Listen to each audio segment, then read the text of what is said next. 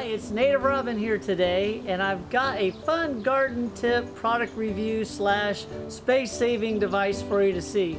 It's the Burpees Green Bean Tower and Pea Tower. Check it out. Now I replaced my raised bed from a year ago with a 2 by 12 raised bed that is about 39 inches square measured on the outside. I had a little trouble with flooding in this area and hopefully this will raise it up high enough that that won't be an issue. I'll show you how the Burpees uh, system works. When you get it, you got the bottom half that will fold out, the center pole in the middle, that folds up for easy storage in the wintertime, more compact, and it's pretty basic. You have a big piece of uh, conduit you have a large piece of conduit with a couple of holes screwed in. It's six and a half feet tall. It's a one inch conduit. And then a top piece that uh, fits into the top. Now I'm going to center this up in my garden and get it set up and I'll show you what I did. Okay, setting it up is simple. I went ahead and put the, the conduit through and has two holes with two cotter pins. You can see those right there and there and that holds it apart. And once you keep it like that then, you just drive it in the ground that deep and I'll space it here in the center of my box and I'll get right back with you.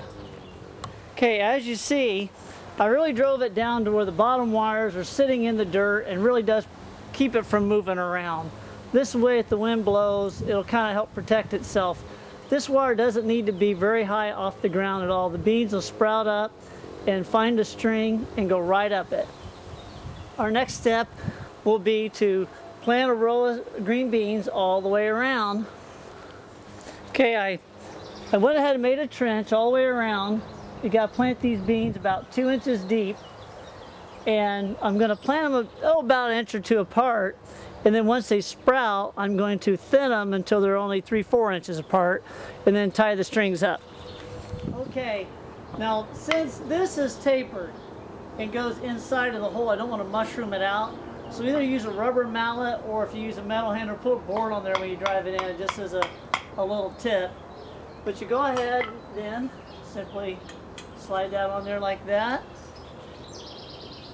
Then the top has a little part that sticks out and goes right up there. Now, when the beans sprout, we'll tie a string from the bottom to the top and show you how that works. Well, I just got home from work and I got to looking at the garden. I think it's a great day to thin out the green beans and get these strings up. So let's continue with our project and I'll show you what I mean. You can see the beans are fairly close together. I plant them every couple inches apart. And we're going to take out at least every other plant. We only really want them about four or so inches apart. If you look at the supports, it forms a quadrants. If you can kind of figure on anywhere from five to six plants per quarter. And that'll be plenty. If you leave too many on here, it'll be impossible to pick. Okay, so it took a little time. I went ahead and put a hat on because out here in the sun, it's a good idea to cover up. But I got to tell you, this job is real high on the no fun o meter. Uh, I went ahead and wrapped a string. I looped it around once and then again and then tied a knot in it so it wouldn't move around as much but this is what I ended up with you can see the top and the bottom there I tried to space them out even. I tried to space them out even on there. Now I did run out of the original string so I probably have it overloaded. This is the first year for this bean pole project. So uh, once the feelers come out on these string beans they're the Kentucky Wonder, by the way. Good bean, uh, heritage bean. Um, they'll they'll just go right up the string. Now I'll go ahead and show what that looks like here in just a little bit, but probably going to take a couple weeks, so we'll be back in just a little bit.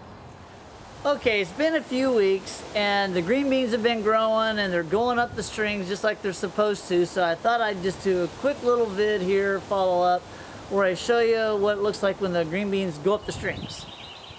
See, they get these little climbers that come out of the top and they'll start going right up the strings, just like you can see some of them are already going up there. Now when they get to the top, they'll just cross over or whatever, and go back down. What I like to do is I kind of, when they're small, I'll make sure that they get their own individual string. But other than that, that's all there is to it. So, that's your pole bean and pea tower from Burpees. Uh, it's a great way to grow a bunch of beans in a really small area. That box is about three foot square, and I got no problem growing the tower. Now, there's different ways of securing the pole in the middle. I went ahead and just drove it in the dirt, but there's uh, folks have uh, drove a PVC pipe in the ground and cemented uh, a, a galvanized pipe to connect it to. You can play around with all that. But honestly, I didn't want it so much taller than I that I got to really reach up to pick the green beans. So uh, if you want to try it, it's a fun project and it make a bunch of green beans in a small place. So until next time, this is Native Robin saying, happy trails.